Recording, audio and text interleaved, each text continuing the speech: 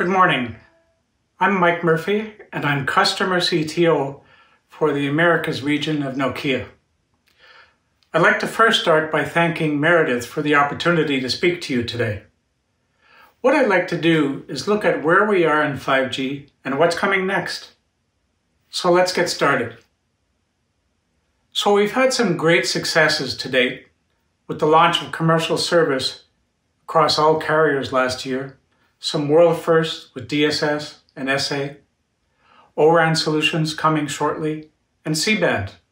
And if you don't mind, I'd like to spend a little bit of time on the availability of C-band.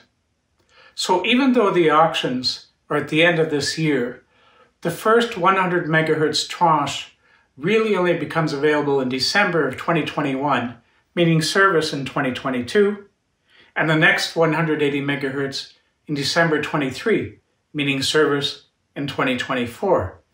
The timing amount of spectrum is really important in this case, as I'll try to show to you a little bit later. From a bigger picture perspective, we see that 5G will start to dominate in about 2024, at least in terms of the number of devices deployed. And while the focus now is on mobility, it will shift to verticals somewhere around 2023. That doesn't mean that nothing happens between now and 2023. It just means that in terms of large scale impact, more complex solutions, we see them coming a few years later. And while it may seem like a long ways away, work has already started on 6G. In fact, Nokia is a founding member of the recently announced NextG Alliance, looking to ensure US leadership in that important standard. Now, there's a lot of discussion and debate about who's leading in 5G. Is it the US? Is it China? Is it Korea? Japan? Somebody else? I think what I can show definitively is that the US is leading in terms of technology. The left side of this chart shows world first by the US, and there's more to come. But not only in technology, I think the US is leading in terms of regulatory support thanks to the FCC. Whether it be the tremendous amount of millimeter wave spectrum made available, unique solutions like CBRS, which will support 5G as well, of course. Siting reforms to speed up the availability of permits and the cost of sites, supply chain security, and the Open RAN Policy Coalition.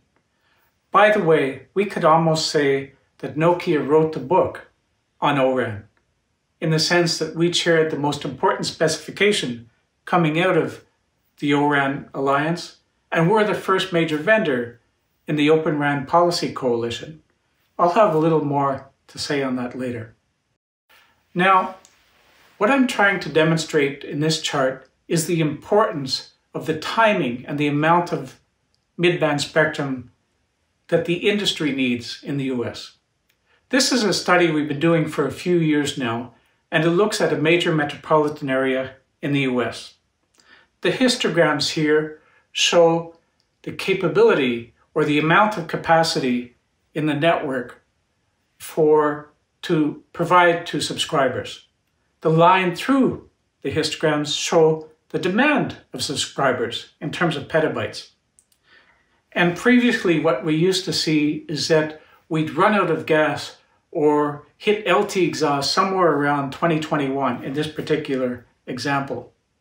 Now with COVID, demand has dropped a little bit so that date has shifted by perhaps a year or so. So we see problems starting to come somewhere around 2022 or 2023, meaning that demand exceeds the ability of network to supply that demand. And that depends on headroom, by the way, how much headroom a particular carrier will build out in advance. The only way to solve this problem is with new spectrum and with 5G.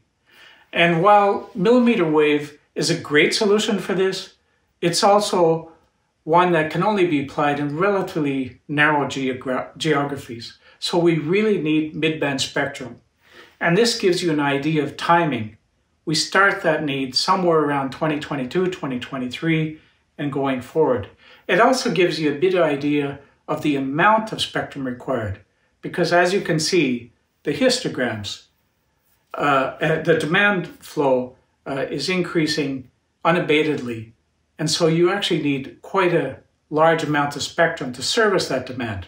So while the 280 megahertz over the next four years is great, we still need more, and ideally, we still need it earlier. Now, 5G in itself is quite disruptive, but what I like to say is that we're really at a time of a perfect storm in the sense of a confluence of multiple technology shifts all happening at the same time. Those are open solutions, in particular Open RAN solutions, complete virtualization of the network, the emergence of web scales and telecom networks, starting with back office systems, moving towards mobile edge computing, and even towards network functions for the tel telecom network itself, and supply chain security concerns. All of these are all happening at the same time. Nokia, by the way, supports all of them. However, we also believe it's prudent to look at their application at the right place and the right time. For example, deploying ORAN solutions in Times Square this year for New Year's Eve may not be a good idea. It's not really at the maturity level needed for a situation like that, but it will be over time.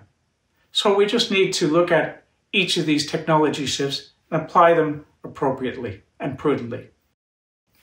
Now, going forward, we all believe that the true promise of 5G is in new use cases, in particular in vertical industries. We can get an inkling of some of the timing and the focus of those by looking at the bodies that are providing input into 3GPP. Three of the biggest ones are GUTMA for drones, 5GAA for the automotive industry, and 5G ACIA for industrial solutions. Each of these bodies provides their requirements into 3GPP for changes to the standards that they need for their particular use cases for their vertical industries. That started at release 17. Unfortunately, release 17 is delayed by about six months. So this is where I got my timing for that original chart saying a big focus on verticals will come perhaps around 2023. Now, we can garner a few other interesting points from looking at these industries or these alliances. So the first is the memberships. As you can see, these are percent of memberships. The US doesn't really dominate any of them. Now, I fully understand that just membership numbers doesn't completely define the contributions made by members, but it is one indication. So, in short, it would be good to have greater US membership and a little more dominance, at least in one or two of these. The other thing we can garner from them is which are the ones that have perhaps more interest and maybe will come first in terms of verti vertical industry applications. At least I find it interesting that 5G ACIA had the greatest growth since last year in terms of members, perhaps implying that industrial applications will be the ones that get the most attention going forward, or at least the first uh, in terms of 5G as applied to vertical industries. So, where does that leave us? We've had a great start in 5G. There's been a lot of world firsts in the US. We have great regulatory support, but there's still more to be done. We need more midband and we need it earlier just to solve the capacity problems that we know about, let alone the ones we don't know about. We also need support or greater attention to US contributions into vertical industries feeding into 3GPP, perhaps even regulatory support there. So that's the end of my presentation. Thank you very much for your attention.